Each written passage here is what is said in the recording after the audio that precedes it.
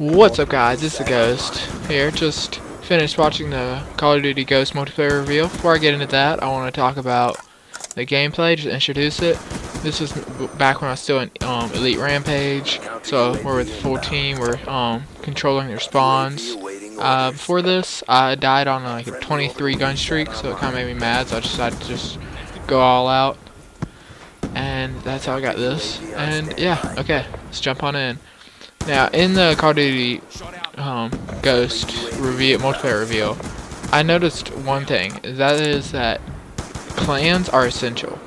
They have the clan wars and they have the clan battles, whatever you call it. And it looks really cool. But the problem is, I'm not in a clan. Um, I kind of I quit ER. I got into um, Ozric support team clan and then I decided to quit that one because I never even played with them. So what's the point being in the clan?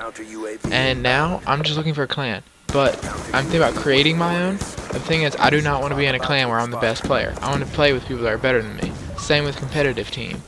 I don't want to play with people that are that I'm the best one. That's not any fun, in my opinion. But I'm really excited to the clan battles and clan wars because it's just cool to be able to go clan versus clan and have like battle over the territory like they were talking about. And the new movement aspects look awesome as well. They have uh, a knee slide, I believe is what they're calling it, and it's just where you kind of slide on the ground. It's kind of like a dolphin dive, but instead of diving, you just slide on your like knees. And you know that's going to be useful. Also, leaning. I'm not sure they did. I know they said it wasn't any more button combinations, but I'm not, I don't believe they said exactly how the controls to do it, so hopefully it's not too weird to get used to. But I don't expect it to be. Usually I'll get used to stuff pretty quickly. Now, a few days ago I made a video asking if I wasn't, if I wasn't that good at Call of Duty anymore. And, you know, since then I played some more, and, you know, I'm doing better.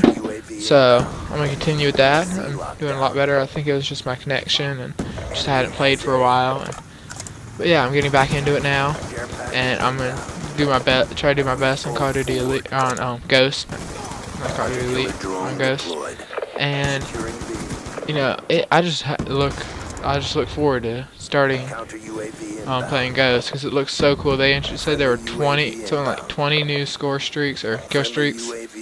Um, that new, it's a modification of Team Deathmatch looks awesome. I forget what it's called. Cranked. That's it where you have after every kill you get there's a 30 second timer. If you don't get a kill within 30 seconds you um, blow up. That's a cool idea. Stop camping in TDM it's really cool. I completely support that. But yeah that's all I can think about right now for this streak. I just got sniped because the spawn flipped for a partial flip. I wasn't paying attention but yeah, thank you guys so much for watching. And if you have anything else you'd like to say to me, or just leave a comment, and I'll gladly respond. Have a great day. Ooh, look at that score. Look at that score. Such a beast. And here's my medals I got for the game. Ah, I used to be so good at this game.